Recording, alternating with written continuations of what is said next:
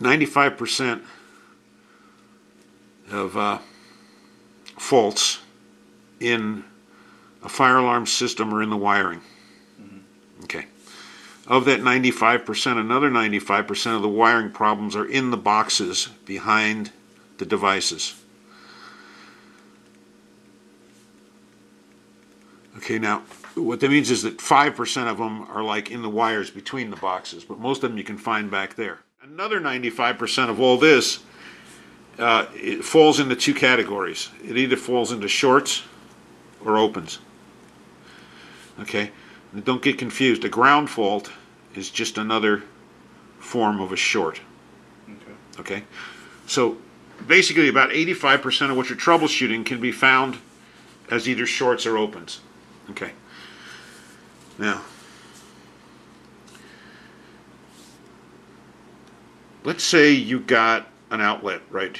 Uh, let's say you got a house, and in the house is an outlet, right? And the power comes into the house, usually comes in on three three wires. Um, but inside the house, you usually have whites, greens, and this is either usually a black, a red, or a blue. Okay. Now, I'm not counting the 240 volt stuff. I'm just counting the 120 volt stuff. Okay. Don't worry about the green. It's not a current carrying conductor. It's just a safety. Okay. Uh, the the power goes between one of these three colors and the white. Okay this is all 120 volt theory and doesn't really apply to what we're doing, except I, I need you to understand something about it.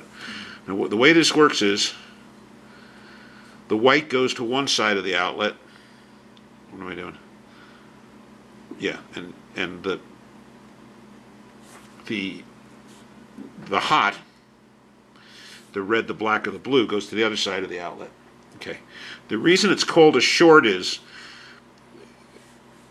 let's say somebody uh, uh, drops a heavy piece of metal across these two pieces of wire, right? That completes the circuit short of the outlet.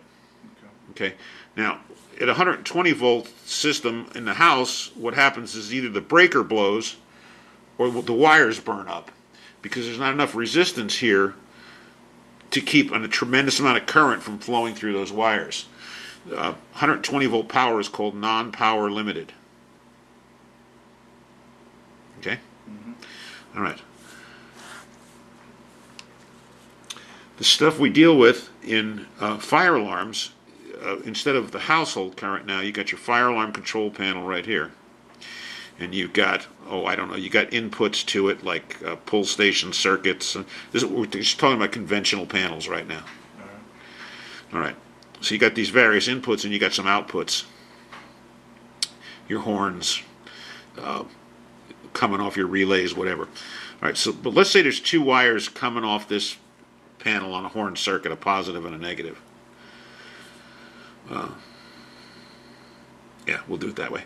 Okay, and then um, you got a horn circuit here. I'm not drawing that very well. Okay, if you drop a, a strong piece of wire across this, okay, instead of the wire burning up or the breaker blowing, your fire most of your conventional fire panel circuits are power limited circuits. And limited. I'm not even spelling that right, I'm sure. Okay, so what happens when you if you short a uh, a conventional fire alarm circuit because it's power limited because it's the panel has that that feature of power limiting. That's why we can use such light wires, okay, in a fire alarm circuit. The reason because it's power limited, if you short this, it, it doesn't shoot like an unlimited uh, amount or 50 or 100 or 1,000 amps through the circuit. It drops the power down and it, it it's only transmitting maybe uh, uh, 3 milliamperes or something. You know what I'm saying? It's very little but it senses at the panel that there's a short, and um, like on a conventional horn circuit, it, it'll go into trouble. Okay, all right. So that's a short. Okay? And what it basically is is it's two conductors that should not be touching that are. Let's see, you got that same panel, and you got a horn over here, and you got a positive and a negative. And uh, let's say somebody uh, is up in the ceiling and they trip over this wire and break it. Okay, at the end of this horn is a a resistor. So so the panel, if if that resistor's there, say it's a 4.7k, okay, maybe this panel thinks it should sense in standby mode, where it's supervising that circuit, uh, it should sense uh, 17 milliamperes. Well, if somebody breaks that wire, then that's going to drop down to about basically zero milliamperes. There's going to be no flow along that circuit, right? And this panel going to trouble again. Okay? So your, your shorts are two wires or, or two things that shouldn't be touching that are, and your opens are there should be continuity when there isn't. That's your open. Okay? Your ground fault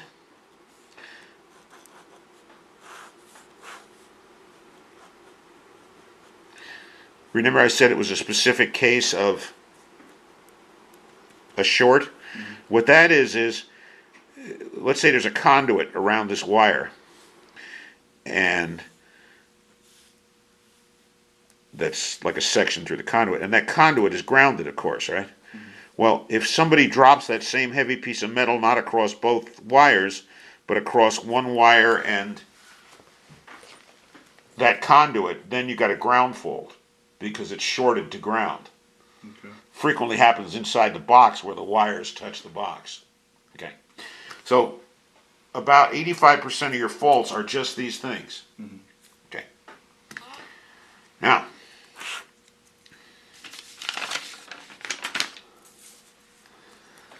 if this is a fire alarm panel, there's two wires going here, and say these are horns. And out here is an end of the line resistor. Now, let's say you're troubleshooting an open. Okay? Uh, one thing you can do that's real easy is, wait, this is the fire alarm control panel, and that's a horn, and that's a horn, and that's a horn. And let's say you can see the wires. You're out in a factory or something, mm-hmm. and, and it's just it's coming right out of the panel, and you, you can watch the wires go down a, a truss, and on every beam there, on every upright, there's one of these. And uh, you, you notice the wires stop here. They come in and out of each device, and they stop here. So this is the first one, this is the second one, this is the third one. You know that's the way it's wired. Um, one of the easiest things to do with a horn circuit is you, you, you trip the panel and you find out that this one works, yes, this one works, doesn't work, and this one doesn't work, no the panel's in trouble already, right? Mm-hmm. Well, what you know is that the open is in this wire here. Now, because it's usually in a box, it's usually on the output side of this one or the input side of this one. Okay? Mm-hmm. So the way you troubleshoot an open is you go to the last one that's working, and it's either on the output side of that or the input side of the first one. Okay, cool. Um, if let's say these are this is not a, a horn circuit, but let's say these are pull stations. That's the symbol for a pull station. Okay. let's say you pull this one, it works. You pull this one, it doesn't. You pull this one, it doesn't. Then you know that it's either on the output side of this one or the input side of this one. Okay? Mm-hmm. Okay. Now, what gets tricky is that you very seldom know how they run. Yeah. Right. Okay. So let's say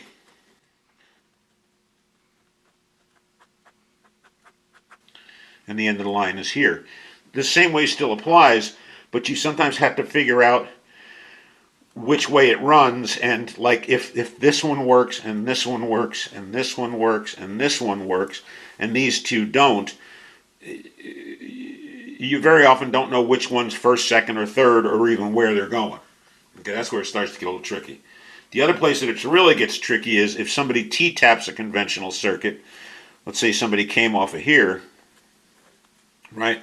These could not be working, and the panel would never know about it because they didn't bring a return leg. You know what I'm saying? Okay. They didn't wire it correctly.